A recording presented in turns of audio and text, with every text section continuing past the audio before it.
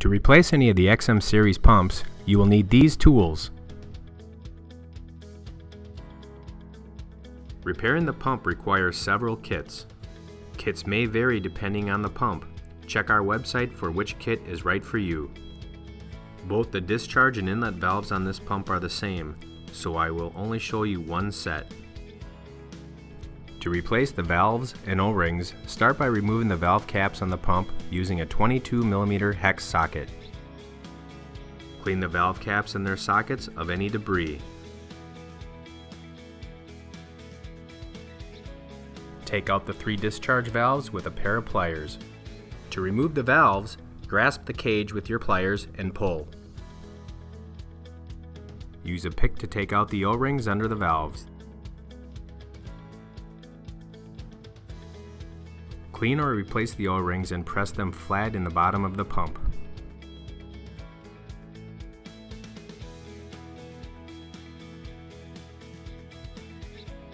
Take the new valves and place them squarely into the port. Press down to make sure they are securely on top of the O-rings. Use a drop of Loctite or Teflon tape on each of the valve caps so they seal properly.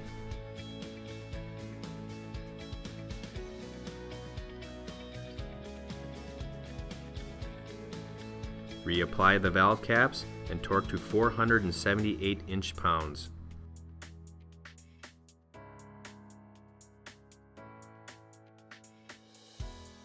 To replace the piston guides, water seals, and pistons, remove the head bolts using a 5mm hex socket.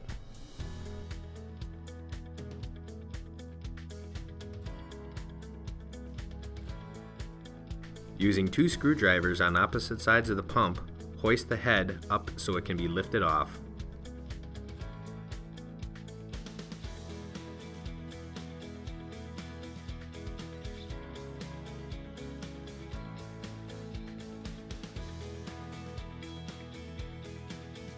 The piston nut requires a 13mm hex socket to be taken off.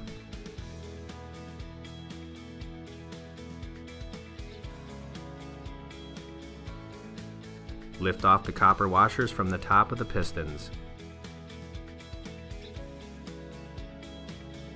If washers get stuck, use a knife to take them off.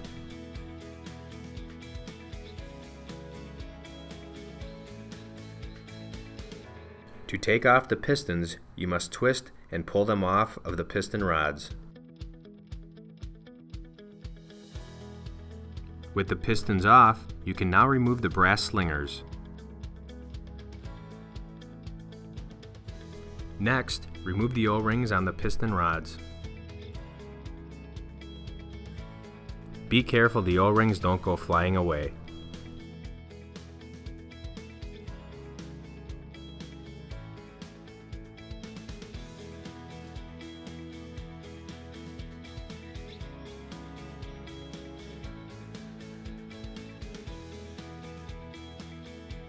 Roll the new O-rings over the piston rods to put them back in place.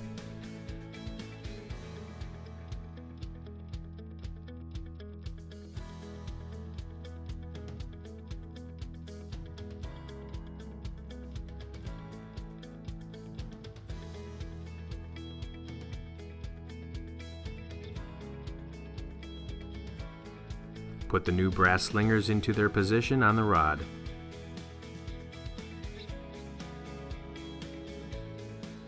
Now twist and slide the new pistons back over the rods.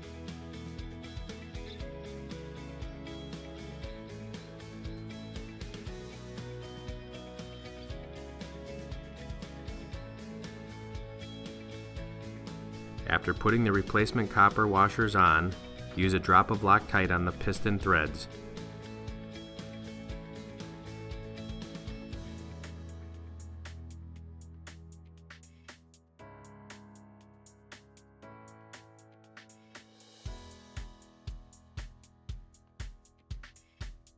Put the piston nuts back on and tighten.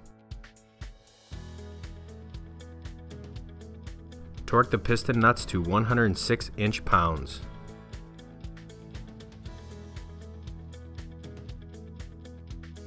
To To remove the piston guides, use the reversible pliers. Use the pliers to grip between the guide and the seal. Be careful not to damage the inside of the pump when removing them.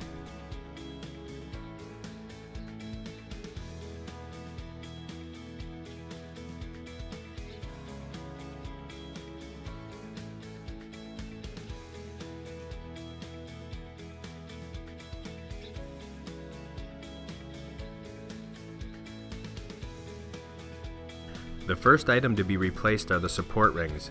They must go into the head with the flat side down.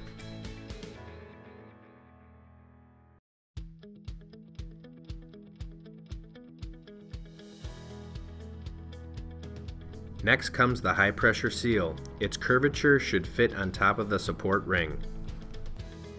Place the new water seals in at a 45 degree angle and work them in.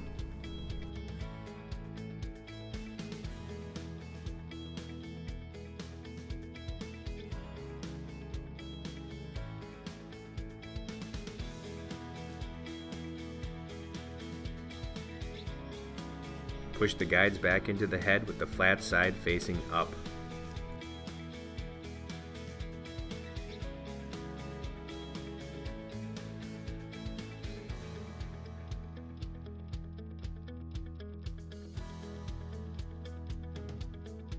To put the rear piston guide back in, you should replace the water seal inside of it. You can push it out using your fingernail. If that doesn't work, use a pick, but be careful not to damage the seal.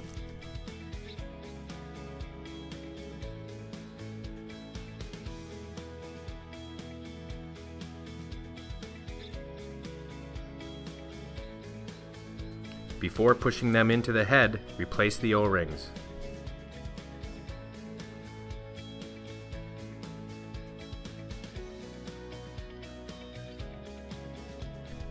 When the rear piston guides are properly seated, you will hear a faint click.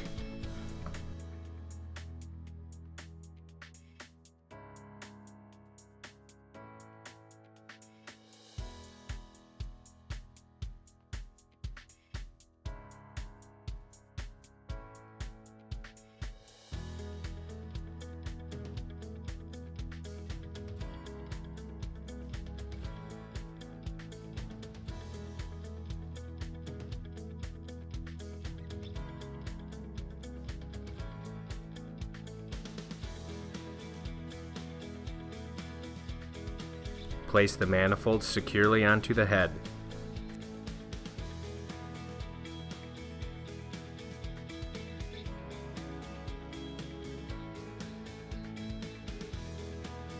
Reapply the 8 manifold bolts in a crisscross pattern to evenly distribute pressure.